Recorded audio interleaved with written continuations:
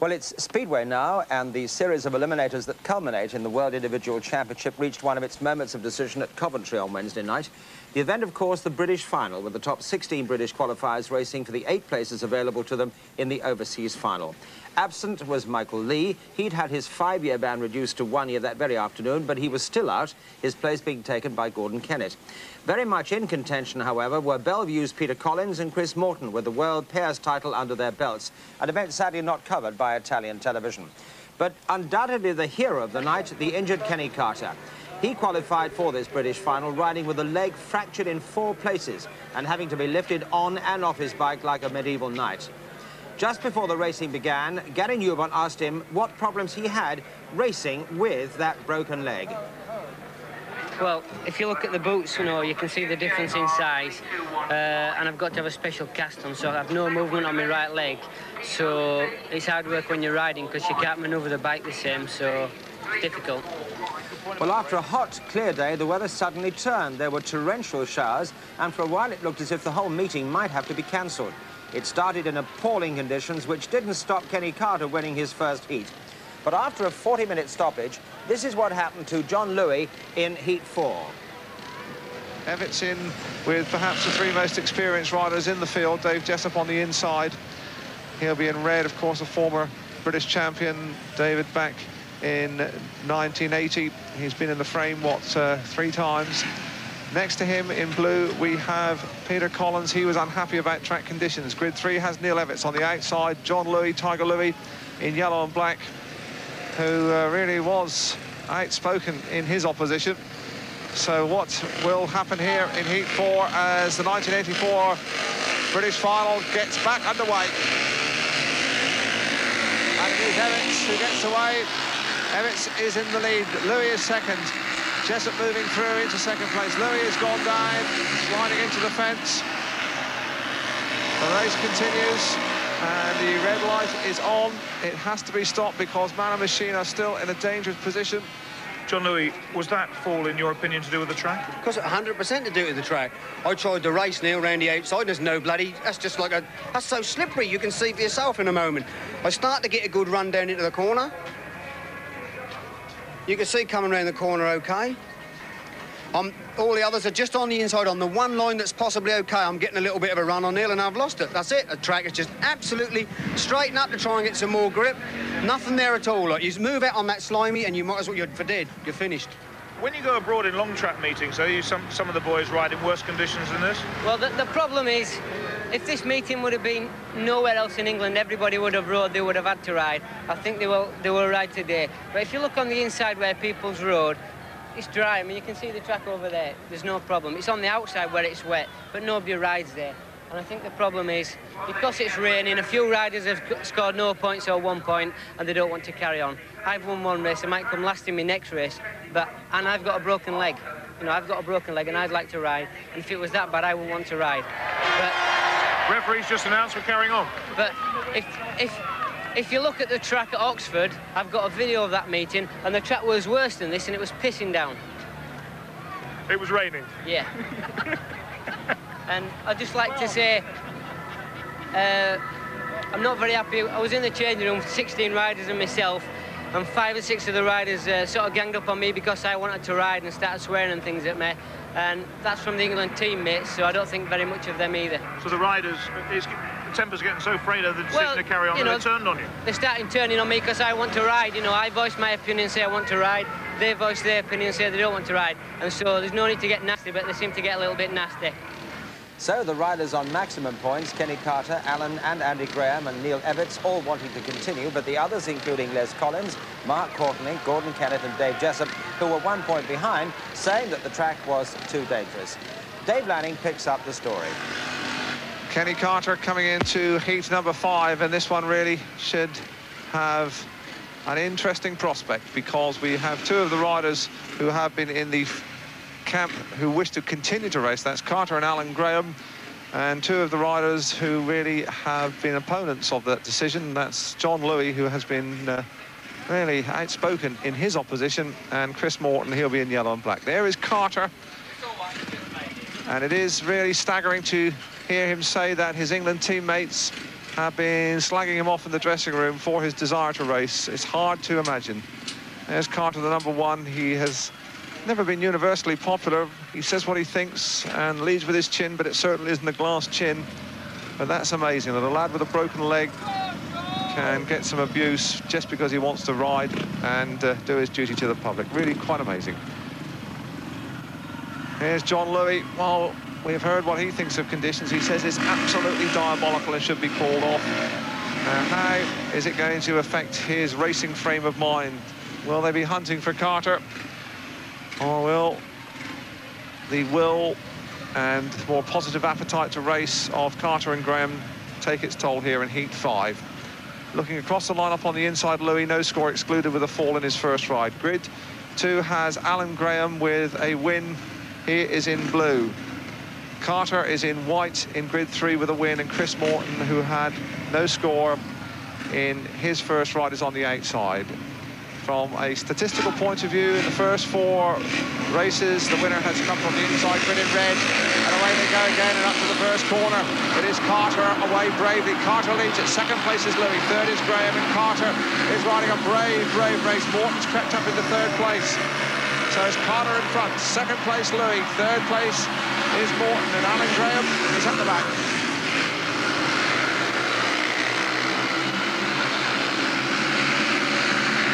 Carter is absolutely tearing them apart. And it really does take a special brand of courage to turn on a performance like this.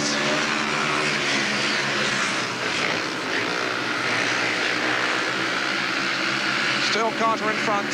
John Louis picking up two points here, retrieving his own personal situation in third place. It's Morton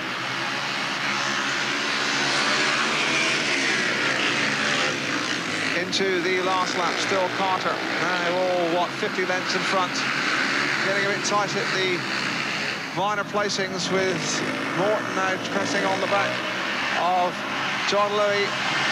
No way through there. A win for Carter. Second place, Louis. Third place was Chris Morton.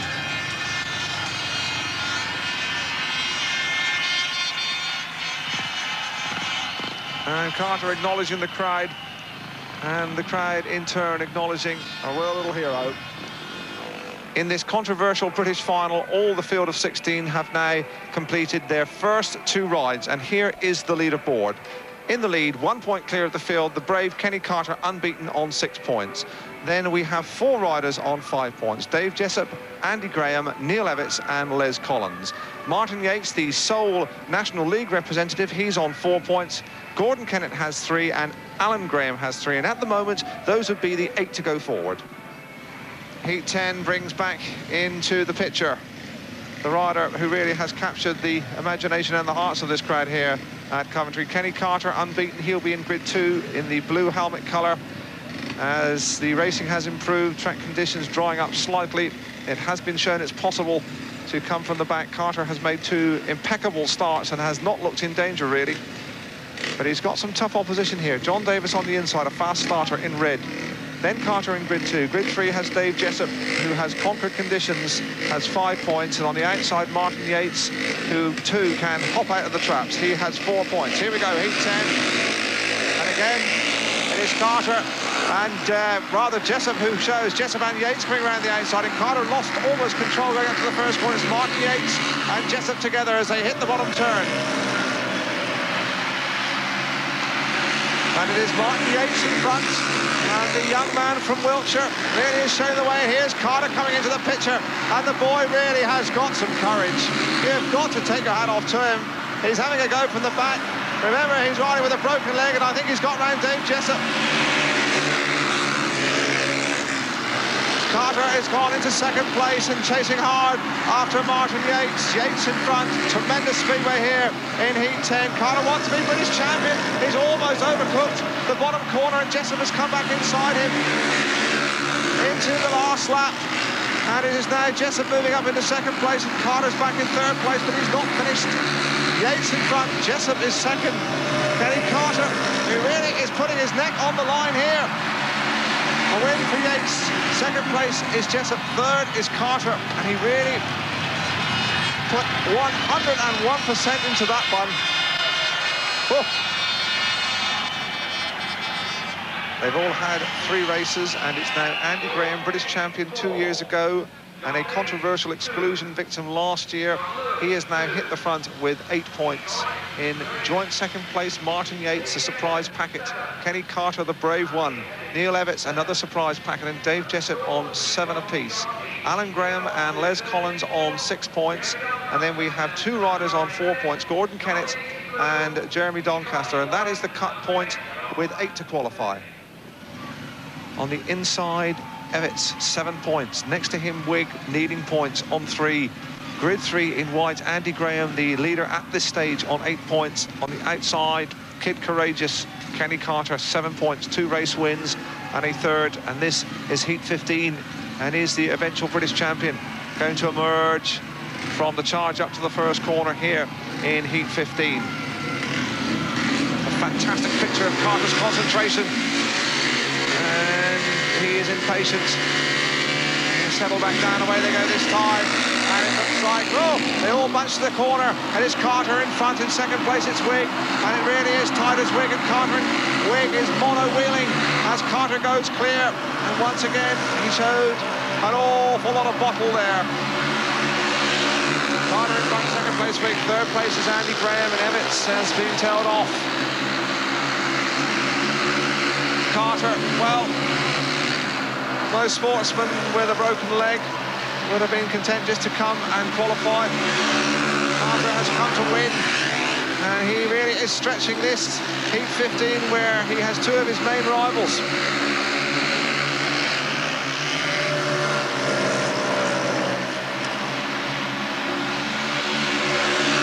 Into the last lap of Heat 15, it is still Carter. And he's getting a bit tight at the back for Simon Wigg. Wigg suddenly is aware of the danger. Gets the throttle turned on, but Carter is going to win Heat 15 so impeccably. Wigg is second, third place it was Andy Grahame.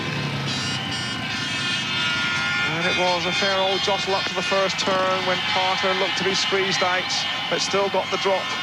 And the crowd are rising to Kenny Carter, and that really is not surprising. Heat number 16 with, well, a lot of stories to tell, really. On the inside, Chris Morton, the reigning British champion, an unhappy night. He has picked up the situation. He started with an engine failure, has three points. So it's critical for him to score points here in this, his penultimate ride. Next to him, Mark Courtney in blue, Belle Vue teammate. Started promisingly enough at the second place, but has run two lasts. And again, is beginning to chase rainbows. Les Collins in grid three has provided most of the excitement uh, at the rear of his races. He has a total of, what, six points, so still very much in line for the overseas final. And Dave Jessup, who could move up jointly onto the leaderboard in first place with Kenny Carter. If he wins, he has a total of seven points. Here we go for Heat 16. And it looks like Jessup's got a flyer. Jessup is away in second place. It is Les Collins and coming hard. It was Courtney. But Morton in third place as they spread off around the bottom corner. And here comes Les Collins again. And Les Collins does love to get out where the drive is and keep a big handful of throttle. He's going to go around Dave Jessup unless Jessup can get his wheels back in line. They're absolutely locked together as they hit the bottom corner. And who will it be to level out? It is Les Collins. Fine piece of overtaking. He in second place, Jessup in third place, Morton still in there battling. And this is a real speedway race. Three England colleagues in line of B.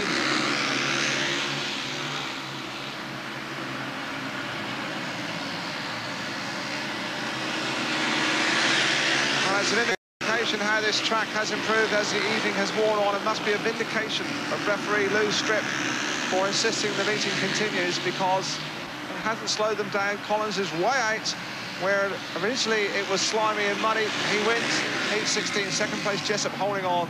Morton goes across, really clenching his fist and pawing there. I think he knows he's out of the World Championship and that will be heartbreaking for the reigning title holder and England skipper. But that is Speedway Racing. Here is Les Collins, who once again produced his party piece from the outside to win heat number 16.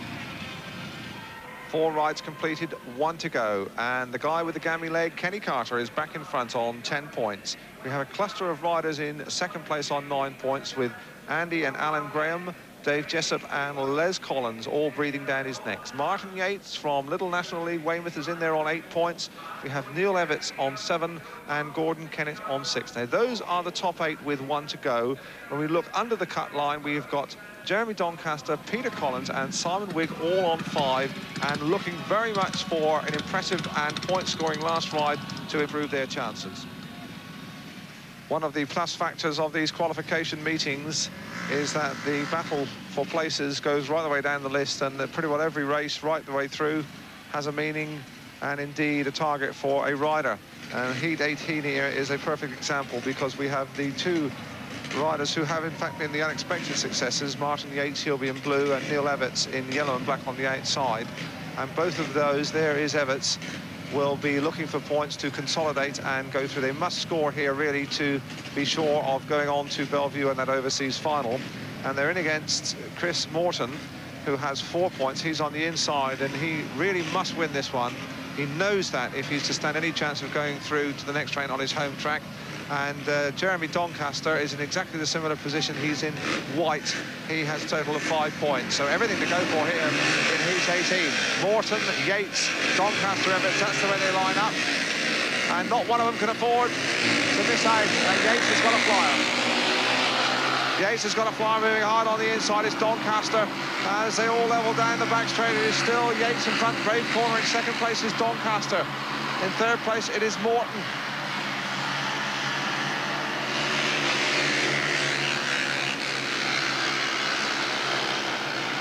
Well, we've had some surprises in Speedway over the years, and this must rate as one of the biggest. Martin Yeates, we know what an accomplished performer he is at junior level, and he really is going quite beautifully here. And Doncaster under some pressure from Chris Morton and Neil Evitts at the back. And this might be a disaster for the young Halifax star.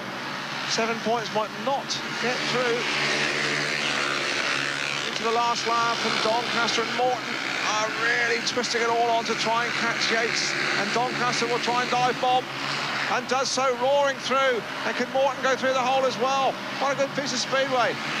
Doncaster wins it. Second place, it is Yeates. Third place was Morton. And that really was neck or nothing from Jeremy Doncaster.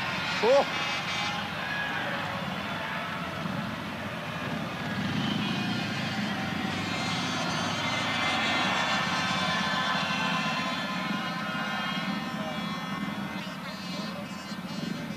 What a week for you, Chris Morton. World Pairs champion last Sunday, this time last year British champion, but completing this week, you go out of the World Championship this time.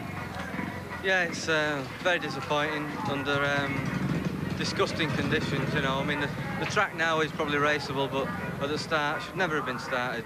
So unfair, you know, to, to have to do it in these conditions. So there's Carter. He'll be on the inside, which um, has been a very, very useful starting position, certainly early on when conditions were greasy. Not quite such an advantage now. Let's just spell out what it's all about here in the last race on the card anyway. Carter needs three points to take the title, so a win will put him clear for his first British Championship success. A second place will take him into a runoff with Andy Grahame and with Les Collins, who's also in this race, providing Les wins it. He's on the outside in yellow and black. Now, Gordon Kennett, he is in grid three, must win to force a runoff for the eighth and final qualification place for Belle Vue. The other rider in here, Peter Collins in blue, is out of it. The 1976 world champion and such a seasoned and indeed great ambassador for English Speedway is out, even if he wins. So Carter on the inside must win. Kennett must win. And Les Collins needs to win as well. Everything to go for here in Heat 20. And it is Peter Collins who gets away and who locks down on the line looking for Carter. And around the outside his brother Les. And of course the Collins boys are going to carve up Kenny Carter. Peter Collins in front, second place, Les Collins can. Carter get through into second place. It looks like he's going to have a go. And has he got the drop on Les Collins? They're absolutely locked together down into the third corner. And Carter is going to go through surely this time. Does so. He is through and he's battling with the Collins boys. And this is a fine piece of speedway again. Collins, Peter in front. Carter now challenging hard. Not a lot of love lost between these two, and Kenny Carter is really riding the race of his life, and he's got the drop on Collins as they move into the last lap. And Carter in front, Peter Collins is second, Les Collins is third. The kid with the gammy leg has carved them to pieces, and this is a British Championship success, which should go into the record books. What a night for Kenny Carter. From the front, from the back, he has been incredible. You cannot question his courage, you cannot question his skill, you cannot question his right to be called the British Speedway Champion. He's had such bad luck when he's been 100% fit. What a way to win his first British Championship. And who, one must argue, is going to stop him in his quest for world honours? Eh? Have a swig first. Look at that, it's all gone, man. Eh? Ian's got it all. Kenny. Lick it off your jacket. What? Kenny, you sure you have broken your leg? Kenny, you sure you have got a broken leg the way you rode there? It was remarkable. I didn't touch the tapes again because I got warned once, and uh, PC got a flyer, but I'm just happy that I won it. But uh, it looks as if the Collins brothers were going to carve you up there. You well, they both, place. they both went out, you know, to chop me up to help Peter, and uh, they give me an hard time on the first two laps, but I came through and won, so that's what it's all about. It was a remarkable race even in your career. Over the moon. Fantastic. Yes, the show of great courage there by Kenny Carter, finishing the top qualifier, and of course the British champion. The early qualifiers, Andy Grahame, Dave Jessup, Martin Yeates, Les Collins, Alan Grahame, Jeremy Doncaster, and Simon Wigg. Peter Collins, the former world champion, finished in joint ninth place, but he won the ride-off and so is named as the reserve. So those are the riders then who move on to the next qualifying round of the World Individual Championship, and we have the world final for you on Saturday, the 1st of September.